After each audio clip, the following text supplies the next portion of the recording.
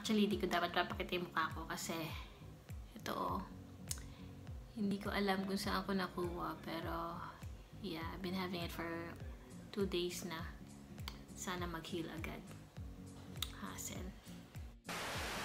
Hello guys, this is Misha. Welcome back to the Unboxing Live and in today's video, meron akong papakita isang package ulit. Ito siya. Oh, lately kasi nagka-canvas ako ng mga crochet threads uh, around my place and uh, unfortunately yung price na binibigay nila is much more expensive kaysa sa mabibili online.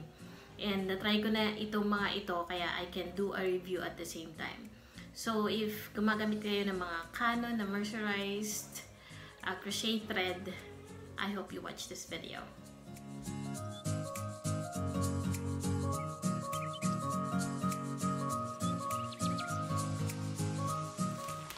If you're a crocheter, para sa inyo itong mga to, uh, binili ko siya, I think this is around 20 pieces. Nabili ko siya sa iisang seller na binilhan ko na pinakita ko in my other channel. So, lalagay ko yung link below if you want to see yung mga acrylic yarn na na-haul ko from the same store. And this time, mga cotton yarns naman or mga crochet threads. So, ayan siya. And makikita nyo in the other screen kung kailan ko siya pinlace yung order, kailan na-deliver, at kailan ko nabayaran. So, I bought this uh, cash on delivery at ang seller is napakabait. Uh, uh, nagbigay siya ng freebie last time.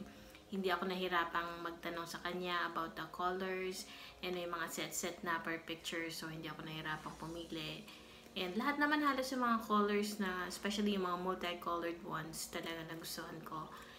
And sabi ko nga sa inyo, more of solid colors ang gusto ko sa mga yarns kasi nga mas marami kang project na magagawa or at the same time kung gusto mo nung gumawa ng mga amigurumi, madali kang uh, kumuha kasi mga solids eh. May mga yarn hauls din ako about dun sa mga novelty yarns na mabibili sa Hanger Market Baguio. If you haven't watched it, try to browse sa playlist ko sa channel na to dahil makikita nyo yung mga previous yarn hauls ko And uh, matutuwa kayo kasi hindi mo akalain na makikita mo yung mga ganong klaseng um, close to imported yarns na makikita mo rin sa ibang bansa.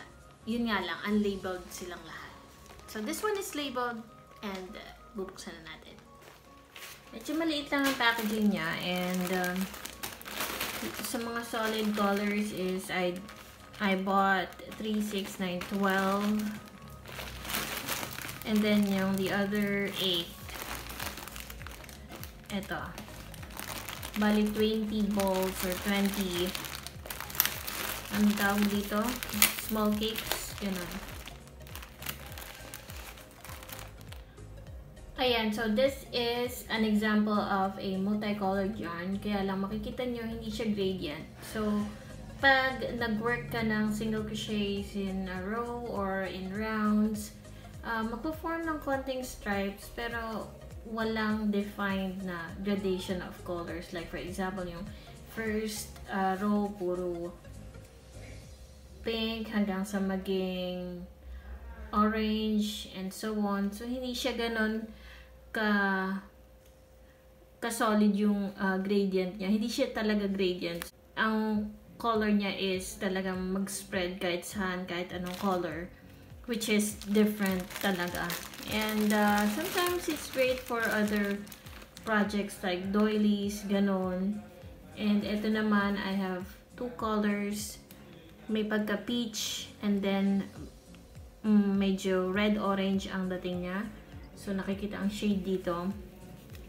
The big difference from others na nakikita ko is meron siyang parang naka-roll na uh, paper sa gitna. Kaya medyo mukha siyang malaki. But the truth is, they are, or they come in 50 grams per ball. So for me, okay lang naman kahit wala na yung um, carton niya sa gitna kasi pampalaki lang tignan. But if you're going to compare this price doon sa mga mabibili sa hanger market na mercerized, syempre malaki ang difference. Unang-una, unlabeled siya and at the same time, uh, iba-iba yung thickness ng thread. So, um, pag may bili ka ng solid colors, um, hindi siya ganun magiging magkakamukha ng thread. But anyway, I will discuss that later. So, tingnan muna natin yung iba't ibang mga colors niya. Ito, pink. Yan. So, I have in two. I have two balls of this one.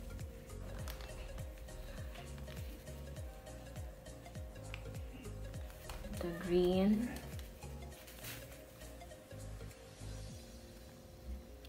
So mercerized.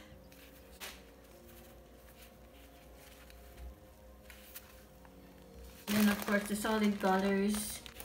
Ayan.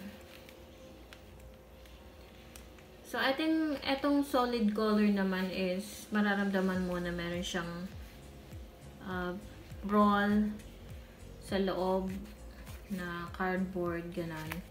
Unlike doon sa dito, so makikita mo parang mas malaki siya or mas mabigat ang feel.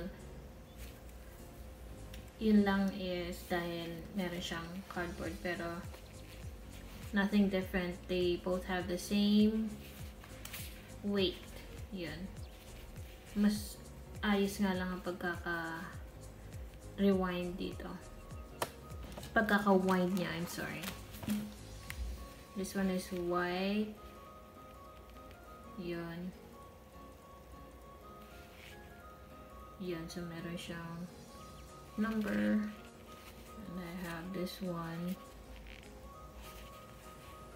Para siyang khaki or siguro khaki na nga. And I have pink.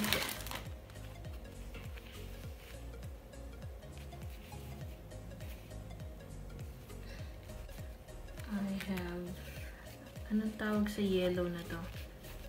Ano siya eh, parang minion na yellow siya. Yan, parang siya nagsishine oh. Yan.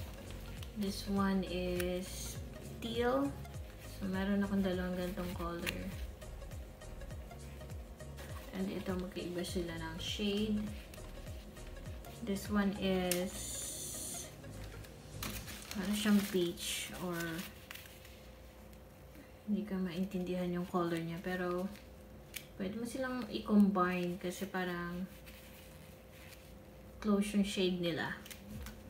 Para bang one lighter shade itong nasa left side. Same din sila ng color nito.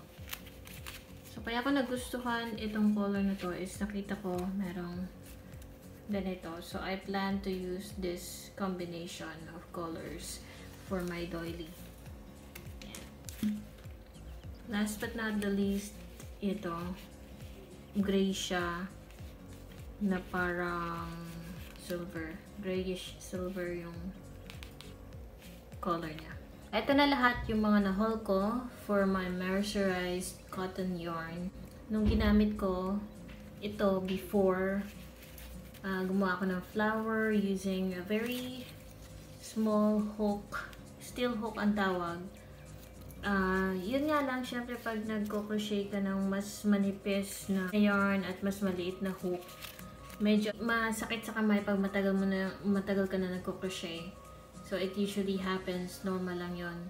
In my case, talagang minsan you need to take a rest after mo mag-crochet ng matagal. Kasi with these kinds of projects, matagal talagang gawin dahil maliliit lang yung stitches na pinoproduce niya. So, hindi siya magiging ganong kabilis na project. Unlike when you're using t-shirt yarns or malalaking hooks, like beanies, magagawa mo siya within 1 to 2 hours, lalo na kapag ano ka na, um, advanced ka na. In my case, hindi ko masabing advanced na ako. I still have to learn more stitches. Meron din ako mga weaknesses when it comes to using other stitches. Sa tagal ko nagko-crochet, yun nga lang, ang pinakamahirap talagang maging projects, yung mga paggamit ng mga steel hooks, sa mga crochet threads na gano'n dahil um, pag matagal ka na nag-crochet, medyo masakit na sa kamay, nangangalay na. Yun, ang tendency ko is, syempre, ipahinga. Hindi mo naman pwedeng gawin yan overnight kasi talagang masakit sa kamay. Merong mga uh, bam, uh, bamboo handles na mga crochet hooks, steel hooks na mabibili online and plano ko bumili ng isa kasi gusto kong malaman kung mas maganda ba siyang gamitin against dun sa mga steel hook lang. Kasi for me, um, based on my experience, uh, yung mga malalaki na may mga malalaking handle, mga furls ba yun, okay lang kung may magbigay, mas maganda. I would really treasure it. Pero yung mga bibili ka sa super mahal na ganon, lalo na student ko na wala pang budget, and at the same time, hindi ko rin alam kung, kasi may mga hooks ako na malalaki yung may mga handle siya at parang mas nabibigitan yung kamay ko kaysa dun sa mga normal hooks lang na slim, ganun. But I will try na gumamit ng mas malaking hand. May mga bamboo handles ako nakita sa Lazada na steel hooks uh, at an affordable price. So, titingnan natin kung maganda nga ba siyang uh, for this kind of crochet hooks. And also, I can't wait for my other um, hook organizer na makikita nyo in my next videos kasi um, maganda siya for display and uh, hindi mo na kasi every time buksan ko yung organizer ko maghahanap ako ng hooks ko and uh, yung klase ng organizer na yun is naka-place na lang siya sa isang basta makikita niya siya and uh, pwede mo lang ilagay dyan parang makeup kit ba ilalagay mo lang yung hook and then pag magko-crochet ka so kukunin mo na lang siya doon I don't usually use double strands pagdating sa mga cotton mercerized yarns. And parang feeling ko hindi enough yung yarn para sa isang beanie. Although merong ibang gumagamit and I don't have anything against it kasi um, choice nila yan. But for me, I would want to use a much thicker yarn na cotton. Meron ako na-try, kasama siyang nabili ng sister ko, ano siya, cotton yarn na 8 ply yata, Payton sa tawag. Mas maganda siya for um, making beanies and sayang kasi nasa uh, ibang bahay yung yung project na yon It's a Riptide Stitch Beanie by Melodora Creation. So, ginawa ko siya. Ang ganda ng feel niya kasi uh, medyo makapal yung cotton thread at uh, ginamitan ko siya ng 5mm crochet hook. So, doon sa mga beginner, yung gusto yung uh, mag-start gumawa ng beanie or minsan magtataka kayo bakit minsan yung sinusundan yung um, pattern is same naman but different size um, yun guys ay dahil sa magkakaiba sila ng size ng hook na pinaggamitan so kung kunyari ang uh, fina-follow mo na tutorial is 5mm crochet hook tapos mm, medium weight yung gamit niya and ikaw naman is mas manipis doon sa yarn at mas maliit na hook ang gamit mo, syempre, uh, hindi siya lalabas sa same size. So, mas maganda na um, meron kang chart na like for beanies, meron akong tutorial na pinakita in my other channel. Kung gusto mo, I'll check, uh, I'll add the link below and uh, for you to know a little bit about how to crochet uh, basic circle pattern kasi yun ang kailangan mo in order to make a beanie. So anyway, sa ibang uh, videos na lang yung mga yon. Um, for me, if tatanungin niyo ako kung mas gusto ko ba yung uh, mercerized na Baguio cotton yarn or yung Monaco is I'm gonna tell it to you in my next video para makita ba natin yung comparison ng dalawang klase ng yarns from Baguio and yung labeled na Monaco and Canon. By the way, hindi pala um, Canon yun, yung ano, yung multicolored, ano pala siya, Monaco. So, ginamit ko na rin yun before. Uh, ipapakita ko yung isa sa mga projects ko na ginagamit until now na table runner. Ito yung mga table runner na ginawa ko almost 4 years ago. And uh, makikita niyo naman hanggang ngayon hindi nag-fade ang color ng Monaco yata or Canon ang gamit ko dito. Basta branded siya with label. And makikita mo naman na um, when I was just a beginner talagang ginawa kong pulido ang pag-crochet. I only used 1.75mm crochet steel hook. And kung maayos ang pagkaka weave mo na mga tail ends niya, makikita mo as in mag-stand out yung kulay and I used solid colors as well. Kaya lang kung kung from light to dark, ginawa kong parang gradient, 'di ba? Pero puro solids lang ito. So mahilig kasi ako sa solids ever since. And plano ko nga sanang gawing malaking project siya. Unfortunately, um, konti lang yung mga balls na nabili ko at that time. And sabi ko nga, in my previous videos, wala pa ako masyadong budget noon for that. And before ko natuklasan yung mga yarns in Baguio, before kami nag-move sa Baguio, that's the time na puro ganitong klaseng um, yarns, crochet threads ang gamit ko. And uh, yun nga, nakakita ko sa online ng mas mura. So, I grabbed the opportunity kesa naman sa pabili-bili ako ng isa kung makakamura naman ako if I buy in bulk order. So, eto siya.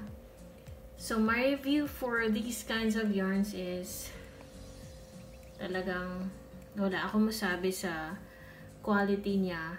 Tumagal siya. Laba, nilalabhan na rin to eh, many times.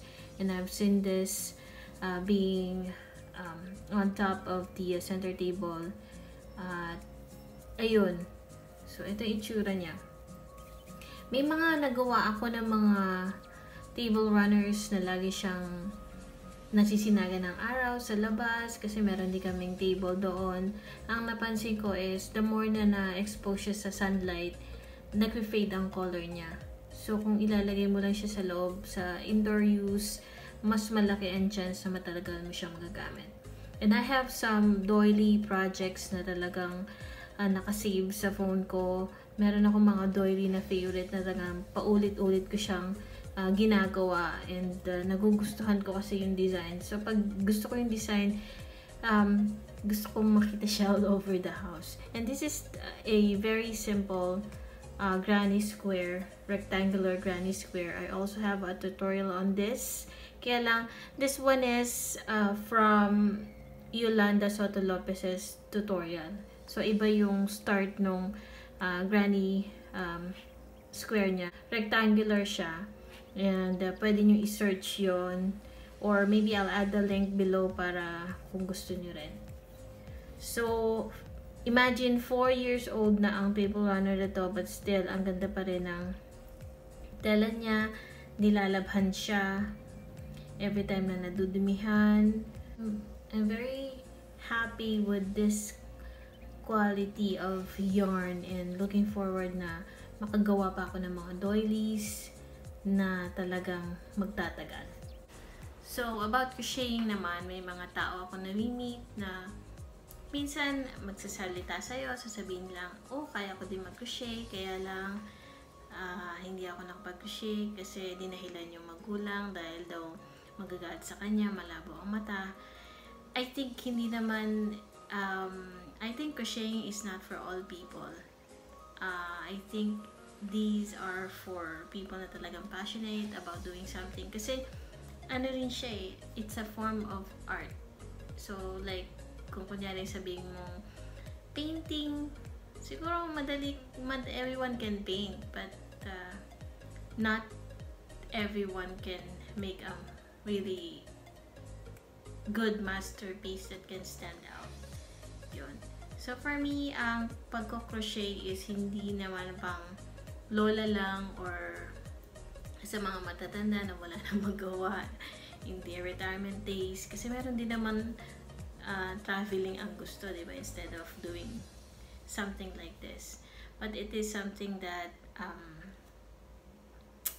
I like and I would love to do even when I get older. Kasi iba yung feeling na nabibigay niya. Para din siyang singing eh. If you sing and it gives you like a high, natural high. May konting addiction pero it's a good kind. Dahil um, na sabi nga nila, nabasa ko din na when you're doing something like this, nakakawala din siya ng depression, nakaka-relax, nagiging kalmado ka, and at the same time, nagiging creative ka. So that's what I like about crocheting. And I'm, I hope na kung meron mga nakakapanood na mga mas bata, And mas matutuwa nga yung mga bata ngayon dahil yung mga projects na makikita natin about crocheting is nag-level up na talaga. Meron mga t-shirt yarns, may mga malalaking yarns for making amigurumis. And kung isa-search mo yung Pinterest, ang dami-dami mga amigurumi patterns dyan na pwedeng paggayahan. At I think maganda rin na kasi ako natutunan ko yung crocheting when I was in elementary, first time yon And also, I wanna thank uh, Tita Arlene Santiago for um, teaching me when I was maybe around 8 or 9 or 10 years old. And so, uh, she's one of the first um, people na nagturo sa akin na gumawa ng ganon. Kasi at that time, meron nga kaming projects um, sa school about uh, making crocheted items. So, yun. Unfortunately, yung iba, ang kaganda talaga. But then, syempre malalaman mo na hindi naman talaga, talaga sila yung gumawa. Yung parents na or somebody na magaling mag-crochet. So, ayun. That time, wala pa talaga akong interest in that. Although, I did try. Um, nakita ko yun nga kay uh, Tita Arlene kung paano gumawa ng ganon and then I, I tried to follow but the thing is I couldn't kasi syempre like any other skills hindi madaling matutunan ang isang bagay unless pinagpa-practicean mo so ayun nakatulong sa akin yon and I've been crocheting for almost 5 years na hindi ganon katagal di ba But kasi pag uh, passion mo at gusto mo yung ginagawa mo, malaking bagay yon para makagawa ka ng project na talagang ikaka-proud mo at uh, ikamamangha ng iba. Yun. First, I didn't really take uh, these kinds of projects seriously kasi para sa akin parang hobby ko lang siya eh. It's something to um, keep my mind off of depression kasi at that time yun, single mom nga ako and um, syempre maraming problema minsan. And yun ang natutunan ko ever since. Kahit pa man nung nasa high school ako I would do something divert my attention into something para imbis na malungkot guys nakato, nakafocus ka sa isang bagay na productive so I guess in in four I, I think uh, five years, in my five years of crocheting, ang natutunan ko is to really how to be patient, be creative, and kahit na sabihin ng iba na, oh, madali lang yan, um, gawan mo ilibre mo ko sa paggawa, but the thing is, you have to study every move you make in order to make a really good masterpiece. So I, I can really uh, relate to some of my fellow crocheters na minsan masama ang loob dun sa mga nagpapagawa ng libre. Kasi nga naman pinagpagura nila. And of course yung materials binibili mo. And pag uh, nanay ka at marami ka ng responsibilidad tapos may magpapagawa ng ganyan, yung paggawa, tas walang uh, sukle. So, anong feeling, di ba? So, I guess, uh, maganda rin if yung matuwa ka na dun sa mga taong nagbibigay ng handmade sa'yo na libre and kung gusto mo naman talaga ng handmade yon mas magandang yeah you try to appreciate the um, crocheters um, art by giving back at least so para meron naman siyang pondo for another projects na Mali mo, mabibigay niya sa'yo next time. So anyway guys, uh, in my next video siguro, uh, papakita ko yung difference ng mga crochet threads like this one. Ito, ang difference niya doon sa mga Baguio mercerized cotton yarn. Kasi alam ko, yung iba sa inyo is takot bumili. Ang marami akong nakikita na mga uh, comments na surplus lang yung mga Baguio yarns na cotton.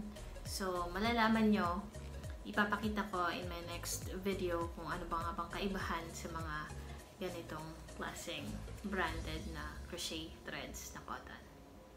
So anyway, thank you guys for watching. If you like this video, do not forget to hit like, comment sa mga questions na gusto niyo malaman about yarns, and don't forget to subscribe. Bye!